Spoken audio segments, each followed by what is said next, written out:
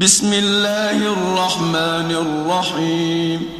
ولله المشرق والمغرب فأينما تولوا فثم وجه الله. إن الله واسع عليم. وقالوا اتخذ الله ولدا. سبحانه بل له ما في السماوات والأرض. كل له قانتون. بسم الله الرحمن الرحيم. الحمد لله رب العالمين. والصلاة والسلام على سيدنا محمد الصادق الوعد الأمين. اللهم أخرجنا من ظلمات الجهل والوهم إلى أنوار المعرفة والعلم ومن وحول الشهوات إلى جنات القربات. أيها الإخوة الكرام لا زلنا مع اسم الواسع. الواسع هو الله جل جلاله. وسع علمه كل شيء. ووسعت قدرته كل شيء. ووسعت رحمته كل شيء. يسع الخلق علما وقدرة ورحمة وحكمة وعدلا وكأن هذا الاسم يتصل بمعظم أسماء الله الحسنى. الواسع هو المطلق الذي لا يشغله معلوم عن معلوم ولا شأن عن شأن ولا مسموع عن مسموع. ولا دعاء عن دعاء. أحيانا الإنسان ينشغل بعمله عن أسرته أو ينشغل بأسرته عن عمله أو ينشغل بدراسته عن علاقاته أو بعلاقاته عن دراسته.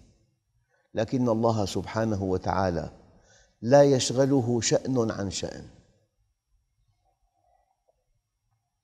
وسع إحسانه جميع الخلائق. ولا يمنعه إغاثة ملهوف عن إغاثة غيره. جاء العلماء يرجحون أن اسم الواسع اقترن بالمجيب. لو أن الخلق جميعاً لو أن البشر جميعاً ستة آلاف مليون. دعوه في لحظة واحدة. لأجابهم معا. أيها الإخوة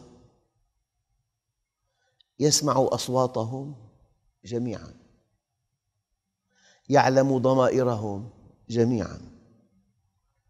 يحصل مراداتهم جميعا.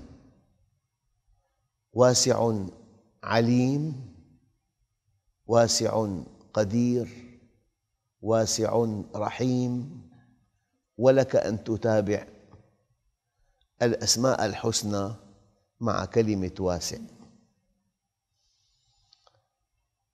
أيها الإخوة الله جل جلاله واسع.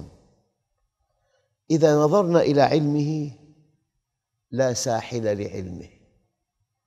أما بنو البشر وفوق كل ذي علم عليم.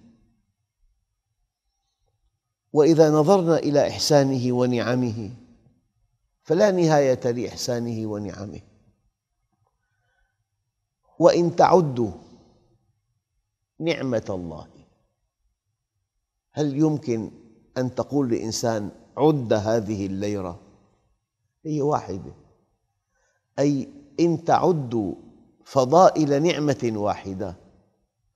أنتم عاجزون عن إحصائها.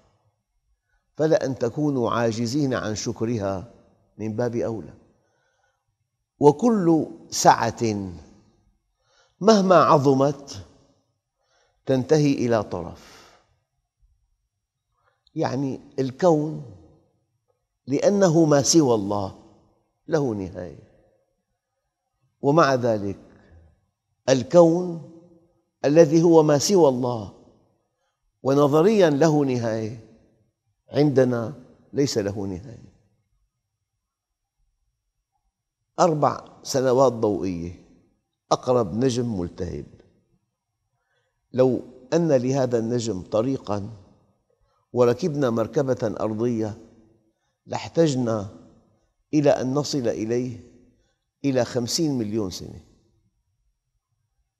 القفزة الثانية نجم القطب من أربع سنوات ضوئية لأربعة آلاف سنة. القفزة الثالثة من نجم القطب إلى المرأة المسلسلة. مليونا سنة ضوئية. وفي قفزات. آخر قفزة نجم يبعد عنا أربعة وعشرين مليار سنة ضوئية. إلى هنا وصل علمنا.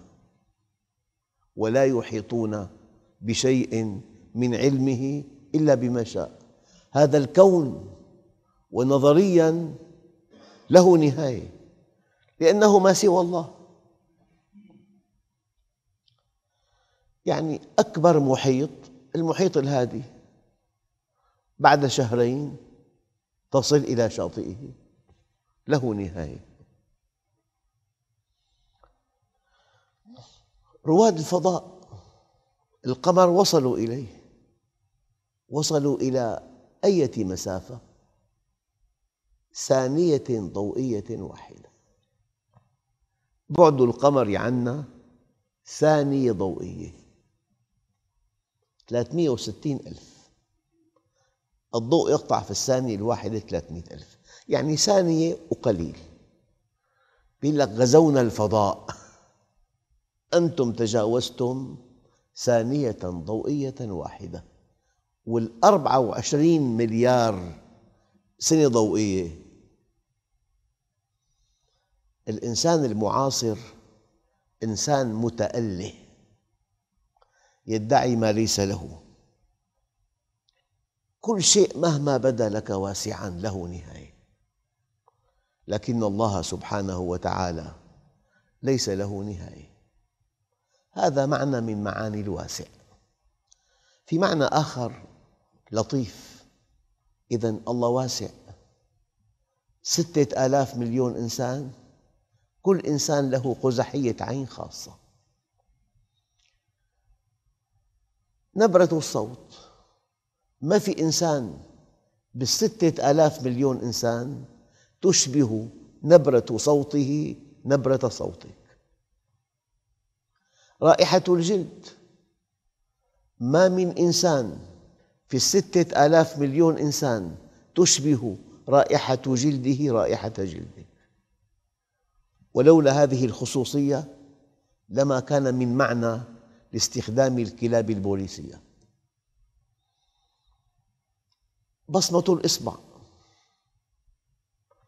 توقيع هذه البصمة فيها جزر. فيها خلجان فيها رؤوس فيها خطوط فيها منحنيات فيها أشجار فيها مئة علامة.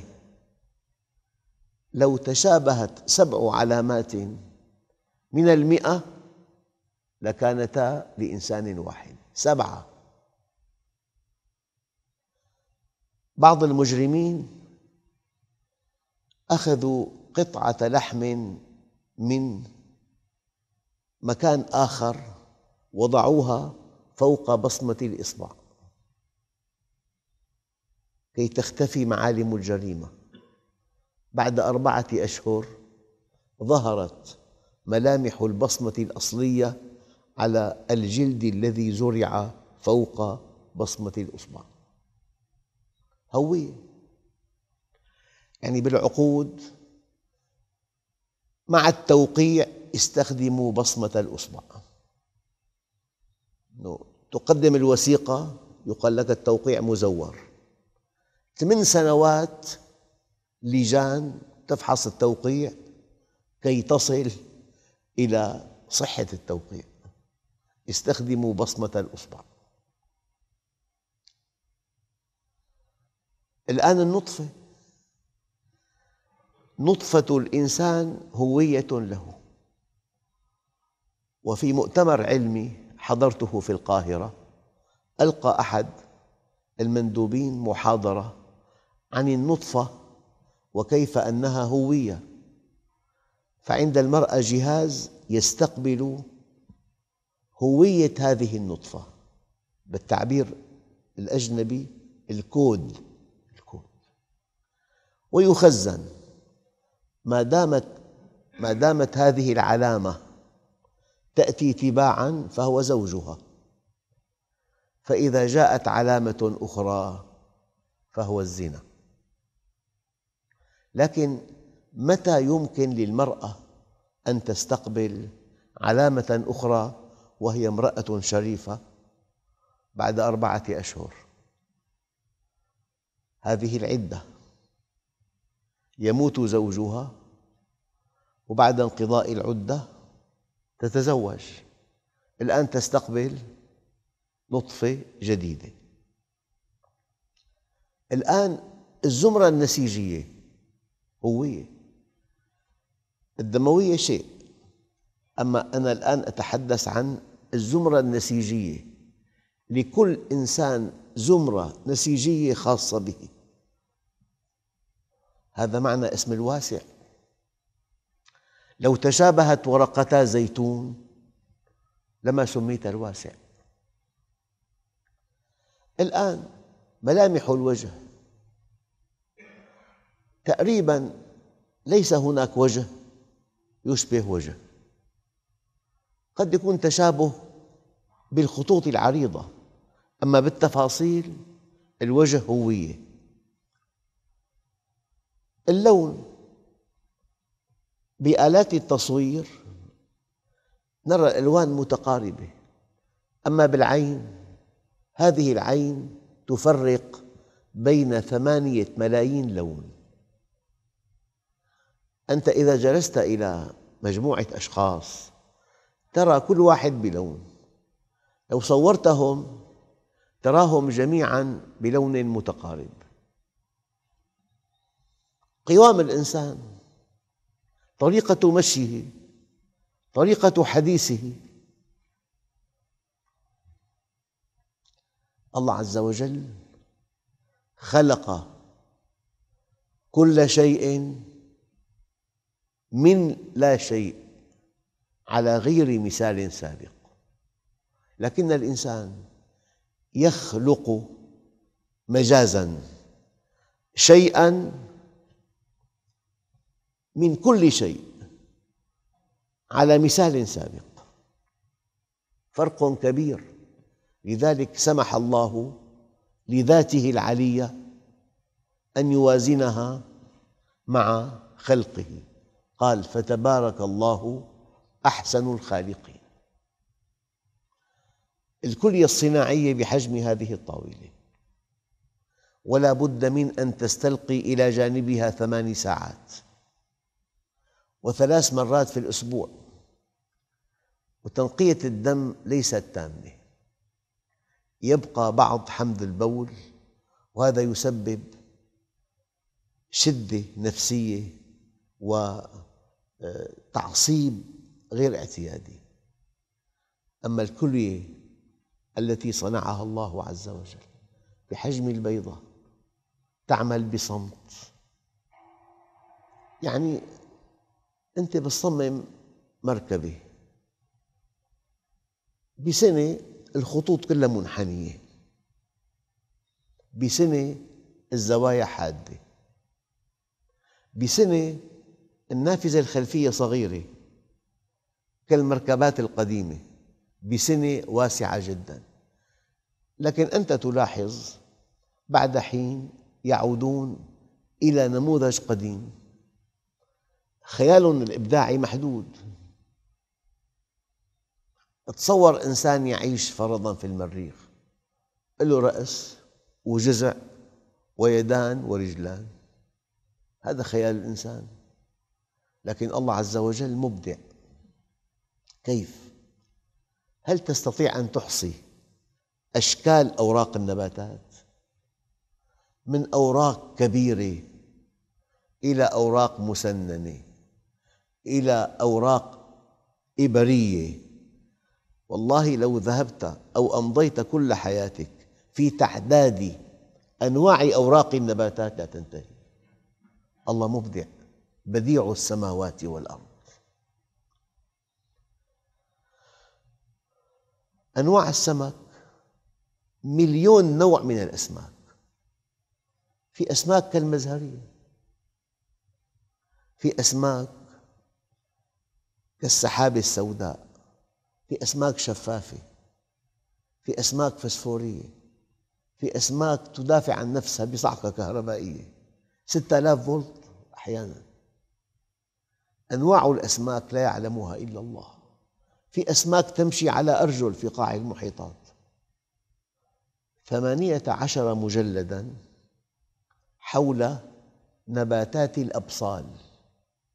وكل صفحة نوع من النبات ملون وتحت. هذه الصورة طباعه يحتاج إلى هواء إلى شمس إلى ماء. ثمانية عشر مجلداً وكل مجلد هكذا حجمه وكل صفحة نبات. يا رب لو تشابهت ورقتا زيتون لما سميت الواسع.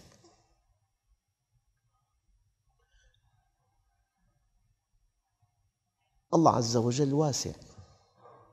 فضله عميم. لكن ما عند الإنسان محدود. يقول لك ما في شواغر. أتمنى والله. ما في شواغر. أما فضل الله عز وجل واسع لا حدود له.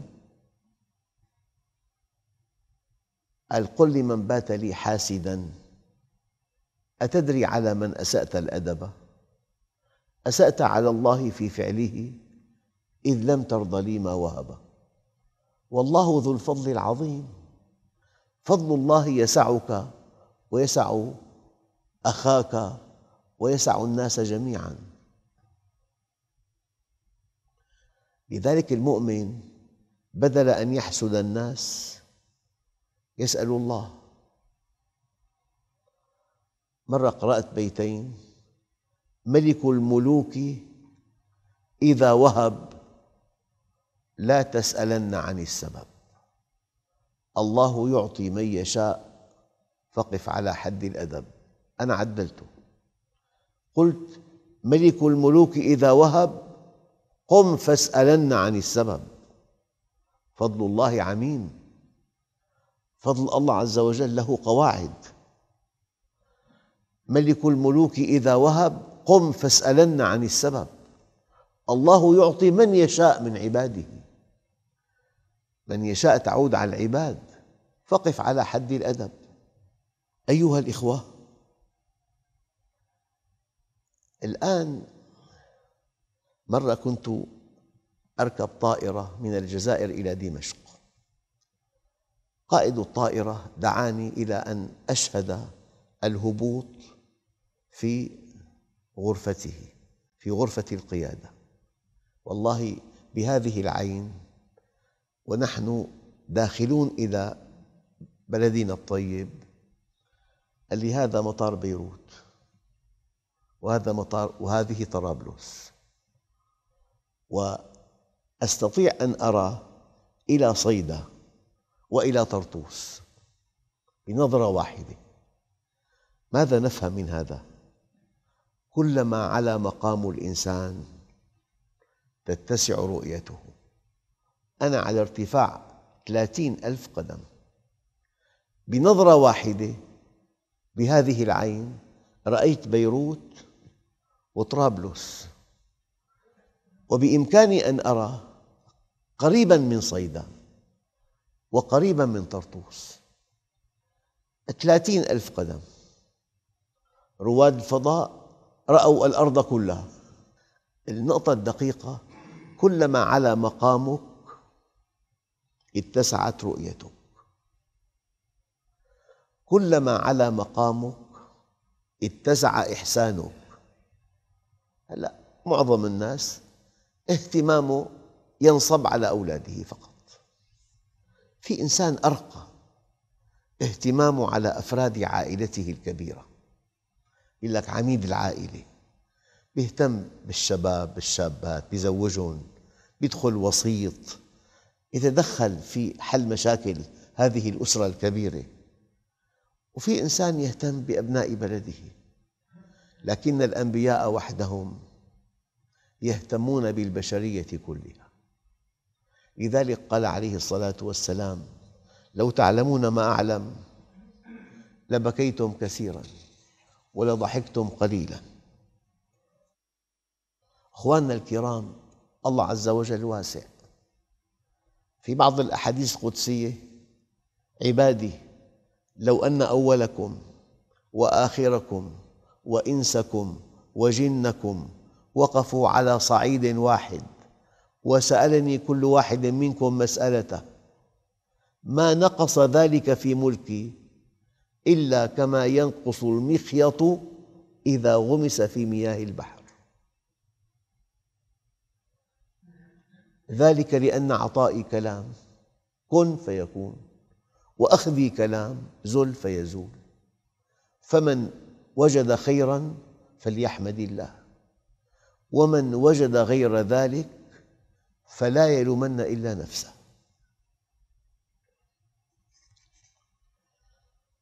أيها الأخوة تصور.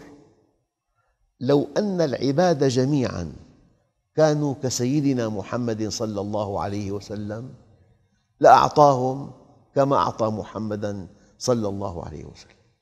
فضل الله واسع. الدنيا فيها تنافس أما الآخرة تسع جميع الخلق. لذلك أعرابي انزعج من أصحاب رسول الله لما عنفوه. قال له يا رب ارحمني ومحمدا ولا ترحم معنا أحدا. قال له يا أخي لقد حجرت واسعا فضل الله عميم. أخواننا الكرام إذا عرفنا اسم الواسع لا نتقاتل نتعاون. التقاتل على الدنيا على النفط على مصادر المياه على القمح. في معركة مناطق نفوذ وفي معركة قمح هي قادمة وفي معركة مياه وفي معركة نفط. وكل هذه المعارك غير مقدسة. الظالم قال لو يعلم الظالم ماذا أعد الله للمظلوم بسبب ظلمه لظن عليه أن يظلمه. الله مع المظلوم. لو يعلم الظالم ماذا أعد الله للمظلوم من عطاء لظن عليه أن يظلمه. بالمناسبة من باب التخلق بهذا الكمال. إنكم لن تسعوا الناس بأموالكم. ما بتقدر فسعوهم بأخلاقكم. بإمكانك أن تكون لطيف مع الجميع. كان عليه الصلاة والسلام لا يطوي بشره عن أحد. ابتسامته ترحيبه تألق وجهه لا يطوي بشره عن أحد. تبسمك في وجه أخيك صدقة. إنكم لن تسعوا الناس بأموالكم فسعوهم بأخلاقكم.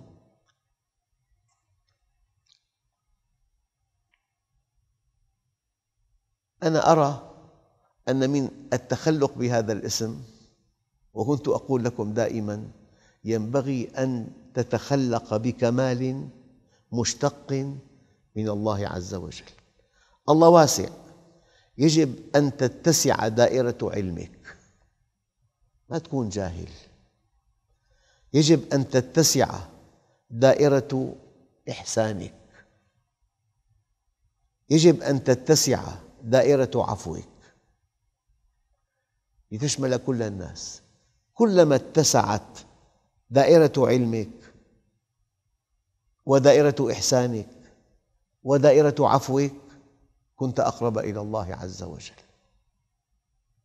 في قلب صغير لا يتسع للآخر. في قلب كبير يكبر ويكبر ولا ترى كبره فيتضاءل أمامه كل كبير. وفي قلب صغير ينتقم يصغر ولا ترى صغره فيتعاظم عليه كل حقير. مرة رئيس فرنسي ألقى خطبة تعد أقصر خطبة في تاريخ فرنسا بعد الانتخابات. قال أشكر من انتخبني وأحترم من لم ينتخبني وأنا لكل الفرنسيين أنا لكلهم وأنت كمؤمن أنت لكل الناس. تفرقة ما في عندك أبداً. تقدم إحسانك لكل الناس. تقدم خبرتك لكل الناس تقدم عفوك لكل الناس. يعني الأصل أن الكبير يسع الصغير والحليم يسع الأحمق والعالم يسع الجاهل والغني يسع الفقير. بل إن المؤمن يتسع للحسود وغيره بل يتسع لمن أساء إليه. يعني الملخص أن يتسع حلمك لكل الناس وعطفك لكل الأولاد لأقربائك ولغير أقربائك. أيها الإخوة اسم الواسع اسم عظيم. وأنت مرشح أن تأخذ كمالا كبيرا من هذا الاسم. والحمد لله رب العالمين. بسم الله الرحمن الرحيم. الحمد لله رب العالمين. والصلاة والسلام على سيدنا محمد الصادق الوعد الأمين. اللهم أعطنا ولا تحرمنا أكرمنا ولا تهنا آثرنا ولا تؤثر علينا أرضنا وارض عنا. وصلى الله على سيدنا محمد النبي الأمي وعلى آله وصحبه وسلم والحمد لله رب العالمين الفاتحة